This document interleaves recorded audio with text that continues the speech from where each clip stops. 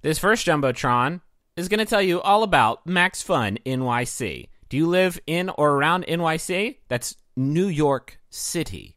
New York City? Like the old salsa commercials. Visit maxfun.nyc slash join to make new maximum fun loving friends, have amazing adventures, and get the most out of your city. With 1,500 plus members, Max Fun NYC is the greater NYC area's unofficial maximum fun fan and friend community.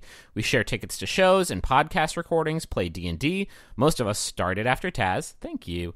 Uh, we do monthly karaoke, eat and review crazy food in our Munch Squad, and throw events like a recent trip to uh, be near horses at medieval times or our upcoming Halloween party. Tickets still available.